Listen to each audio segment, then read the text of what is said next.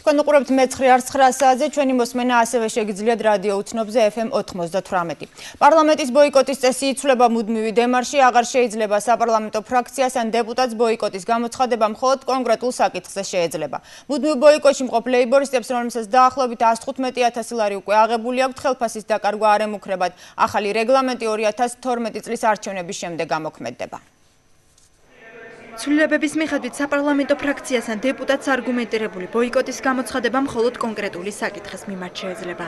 ხათუნა გოგორიშვილის თქმით, დღევანდელი რეგლამენტი ბოიკოტის საკითხზე ზოგადია და კონკრეტულ განმარტებებს არ შეიცავს. 4 წელი ბოიკოტის რეჟიმში ვიმყოფები, ესეთი ნორმა არსად სოფლიოში არ არსებობს. ეს არ შეიძლება გადაიზარდოს რაღაც უაზრო, უვადო, სრულიად აუხსნელ სიტუაციაში.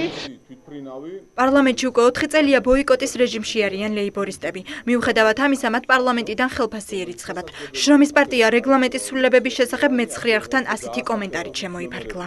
ჯობია კითხოთ კრიმინალ ოლიგარქს თქვენი არხის დამფუძნებელს რამდენი უჯდება მრავალ პარტია გამონაცვალი პოლიტიკოსების, სულგაყიდული პოლიტიკოსების ყიდვა. რაც შეეხება ოპოზიციონერების ხელფასზე იმ ქვეყანას ნამდვილად არ აქვს მომავალი, რომელ ქვეყანაშიც ოპოზიციონერების ხელფასებზე ლაპარაკობენ.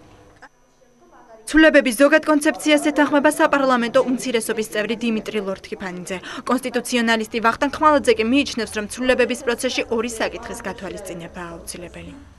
არ შეიზღუდოს პოლიტიკური პროტესტის გამოხატვის შესაძლებლობა ერთი მხრივ და მეორე მხრივ ბოროტად არ იქნეს გამოყენებული პოლიტიკური პროტესტის, ანუ ბოიკოტირების უფლება. მთლიანად პროცესს უცხადებ ბოიკოტს და მთელი 4 წლის განმავლობაში, რა დროის განმავლობაში არის უფლება მოსილება ცნობილი შენი, საერთოდ არ შემოდიხარ თქვა სხდომათა დარბაზში, უარსაც ხადებ საკომიტეტო მოსმენებს და პოლიტიკურ პროცესში არ იღებ მონაწილეობას, ეს დამეთანხმებით რომ ალბათ საერთოდ არ ასახავს საზოგადოების ინტერესს.